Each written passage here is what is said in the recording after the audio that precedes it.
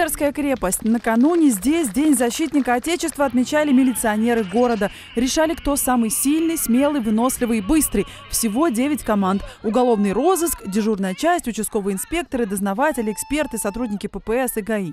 Уважаемые сотрудники Бендерского ГВД, во все времена, во все годы мы праздновали этот праздник, праздник Дня защитника Отечества.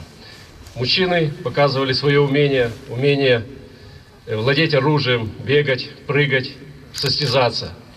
Поэтому удачи вам, здоровья, с праздником! Хочу поздравить вас с 23 февраля, с Днем Защитника Отечества.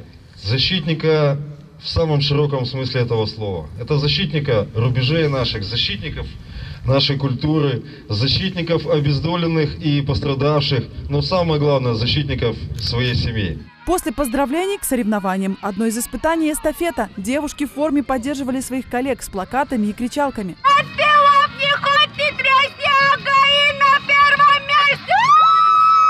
А вот и настоящие мужские задания. Задачи – на скорость собрать автомат, доставить боеприпасы и пройти дистанцию в противогазе, а еще метать учебные гранаты. Кто-то один собирайте гранаты. Оказать первую помощь пострадавшему тоже непростая задача. Справиться нужно не только быстро, но и качественно.